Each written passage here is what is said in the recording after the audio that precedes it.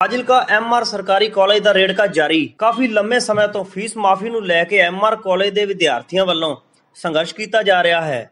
ਬੀਤੇ ਦਿਨ ਫੀਸ ਨਾ ਭਰਨ ਵਾਲੇ ਵਿਦਿਆਰਥੀਆਂ ਦੇ ਨਾਮ ਕਾਲਜ ਪ੍ਰਸ਼ਾਸਨ ਵੱਲੋਂ ਕੱਟ ਦਿੱਤੇ ਗਏ ਸੀ, ਜਿਸ ਨੂੰ ਲੈ ਕੇ ਸੈਂਕੜੇ ਵਿਦਿਆਰਥੀਆਂ ਨੇ ਕਾਲਜ ਦੇ ਸਾਹਮਣੇ ਧਰਨਾ ਦੇਣਾ ਸ਼ੁਰੂ ਕਰ ਦਿੱਤਾ ਸੀ।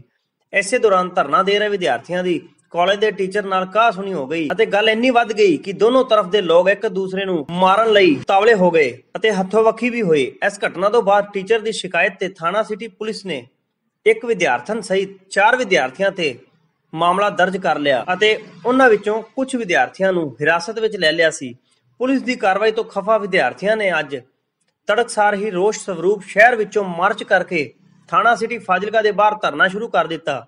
ਧਰਨਾਕਾਰੀਆਂ ਨੇ ਹਿਰਾਸਤ ਵਿੱਚ ਲਏ ਵਿਦਿਆਰਥੀਆਂ ਦੀ ਰਿਹਾਈ ਦੀ ਮੰਗ ਕਰਦਿਆਂ ਪੁਲਿਸ ਪ੍ਰਸ਼ਾਸਨ ਅਤੇ ਕਾਲਜ ਪ੍ਰਬੰਧਨ ਦੇ ਖਿਲਾਫ ਜੰਮ ਕੇ ਨਾਅਰੇਬਾਜ਼ੀ ਕੀਤੀ। ਮਾਮਲੇ ਦੀ ਗੰਭੀਰਤਾ ਨੂੰ ਦੇਖਦੇ ਹੋਏ ਜ਼ਿਲ੍ਹਾ ਪ੍ਰਸ਼ਾਸਨ ਨੇ ਐਸਡੀਐਮ ਫਾਜ਼ਿਲਕਾ ਦੀ ਡਿਊਟੀ ਮਾਮਲੇ ਨੂੰ ਸੁਲਝਾਉਣ ਵਾਸਤੇ ਲਗਾਈ। ਐਸਡੀਐਮ ਫਾਜ਼ਿਲਕਾ ਵੱਲੋਂ ਮਾਮਲੇ ਨੂੰ ਸੁਲਝਾਉਣ ਦਾ ਪ੍ਰਯਾਸ ਲਗਾਤਾਰ ਜਾਰੀ ਸੀ। ਖੁਸ਼ਦਿਲ ਨਿਊਜ਼ ਸਮਾਚਾਰ ਨਾਲ ਗੱਲਬਾਤ ਕਰਦਿਆਂ ਐਸਡੀਐਮ ਫਾਜ਼ਿਲਕਾ ਸੁਭਾਸ਼ ਖਟਕ ਨੇ ਦੱਸਿਆ ਕਿ ਮਾਮਲੇ ਦੀ ਗੰਭੀਰਤਾ ਨੂੰ ਦੇਖਦੇ ਹੋਏ ਉਹਨਾਂ ਵੱਲੋਂ ਦੋਨਾਂ ਦਾ ਕੰਪਰੋਮਾਈਜ਼ ਕਰਾਉਣ ਦੇ ਪ੍ਰਯਾਸ ਜਾਰੀ ਨੇ।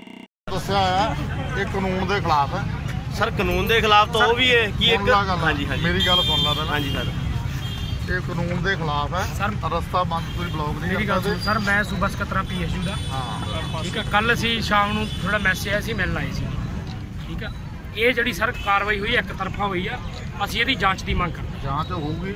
ਸਰ ਜਿਹੜਾ ਅੱਜ ਨਜਾਇਜ਼ ਸਾਡੇ ਵੱਲੋਂ ਵੀ ਤਾਂ ਹੈਗਾ ਨਾ ਜੀ। ਅਰੈਸਟ ਕੀਤਾ ਤੁਸੀਂ। ਕੇਸ ਤਾਂ ਸਾਡੇ ਸਟੂਡੈਂਟ ਦੇ ਖਿਲ ਰਹੇ ਆ। ਧੀਰਜ ਕੁਮਾਰ ਨੂੰ। ਹਾਂ।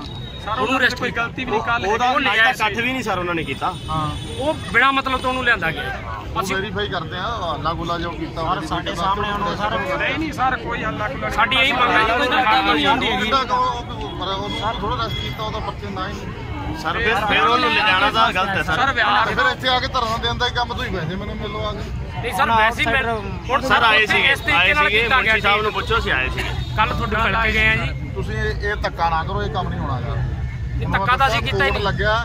ਠੀਕ ਹੈ ਸਰ, ਬਿਲਕੁਲ ਮੰਨਦੇ ਅਲਾਉਡ ਨਹੀਂ ਹੈਗਾ। ਮੰਨਦੇ ਸਰ। ਮੰਨਦੇ ਆ ਤੇ ਫਿਰ ਇਹਨੂੰ ਆਪਦਾ ਇਹ ਇਹ ਹੈਗੇ ਅਹ, ਬੱਚੇ ਵਿਚਾਰੇ ਪੜਨ ਵਾਲੇ। ਸਰ ਮੈਂ ਵੀ ਲਾ ਗ੍ਰੈਜੂਏਟ ਆ ਮਤਲਬ ਮੈਂ ਹਾਂ, ਸਾਰੀ ਤੇ ਫਿਰ ਗੱਲ ਲਾ ਗ੍ਰੈਜੂਏਟ ਦੀ ਤਾਂ ਜ਼ਮਾਨਤ ਨਹੀਂ ਹੋਣੀ ਜੀ। ਚਲੋ ਠੀਕ ਸਰ ਮੇਰੀ ਗੱਲ ਸੁਣੋ। ਇਹ ਸੁਣ ਲਓ ਮੇਰੀ ਗੱਲ। ਦੇਖੋ ਸਰ ਫਿਰ Law ਇੱਕ ਮਿੰਟ graduate ਦੀ ਇੱਕ ਜ਼ਮਾਨਤ ਮਿੰਟ ਸਰ। ਜਮ੍ਹਾਂ ਨਹੀਂ ਹੋਣੀ ਜੀ। ਸਰ ਇੱਕ ਮਿੰਟ ਇੱਕ ਤੇ ਮਿੰਟ। ਅਸੀਂ ਤੇ ਫਿਰ ਜਿਹੜਾ ਉਹਨਾਂ ਨਾਲ ਧੱਕਾ ਸਟੂਡੈਂਟ ਨਾਲ ਹੋ ਰਿਹਾ ਉਹਦੇ ਵਾਸਤੇ ਵੀ ਤਾਂ ਕਾਰਵਾਈ ਕਰੋ ਨਾ ਤੁਸੀਂ ਕਰ ਸਰ ਇੱਕ ਰਹੇ ਹਾਂ। ਤਰਫਾ ਕਿਉਂ ਕਰ ਰਹੇ ਹੋ? ਜਾਂਚ ਪ੍ਰਦੀਪ ਸਾਹਿਬ ਇਹ ਐਮਆਰ ਕਾਲਜ ਸਰਕਾਰੀ ਐਮਆਰ ਕਾਲਜ ਦੇ ਵਿੱਚ ਜਿਹੜਾ ਸਟੂਡੈਂਟ ਤੇ ਟੀਚਰ ਦਾ ਵਿਵਾਦ ਹੋਇਆ ਹੈ ਇਸ ਬਾਰੇ ਤੁਸੀਂ ਸਮਝੌਤੇ ਦਾ ਪ੍ਰਯਾਸ ਕਰ ਰਹੇ ਸੀ ਵੀ ਇਹਦੇ ਨਾਲ ਕੋਈ ਮਸਲਾ ਹੱਲ ਹੋ ਜਾਵੇ ਕਾਲਜ ਦਾ, ਕੀ ਫੈਸਲਾ ਹੋਇਆ? ਇਹਦੇ ਬਾਰੇ ਕੋਈ ਥੋੜੀ ਮੀਡੀਆ ਨੂੰ ਜਾਣਕਾਰੀ ਦਿਓਗੇ?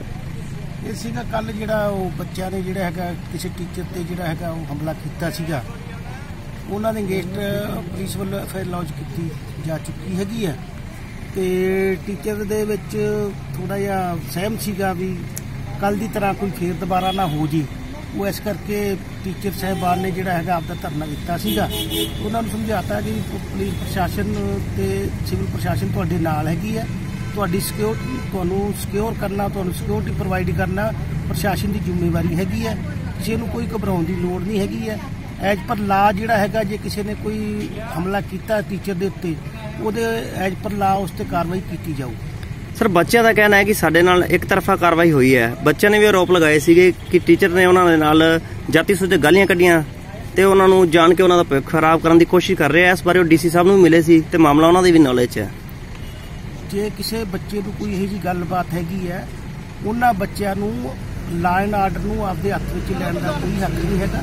ਜੇ ਕਿਸੇ ਨੇ ਕਿਸੇ ਦੇ ਖਿਲਾਫ ਕੋਈ ਇਹੋ ਜੀ ਗੱਲਬਾਤ ਕੀਤੀ ਹੈਗੀ ਹੈ ਉਹ ਪ੍ਰਸ਼ਾਸਨ ਨੂੰ ਆ ਕੇ ਸਾਨੂੰ ਲਿਖ ਕੇ ਦੇਣ। ਅਸੀਂ ਉਹਦੀ ਇਨਕੁਆਇਰੀ ਕਰਾਵਾਂਗੇ ਜੋ ਬੰਦੀ ਕਾਰਵਾਈ ਹੈਗੀ ਉਹਦੇ ਖਿਲਾਫ ਕਰਾਂਗੇ।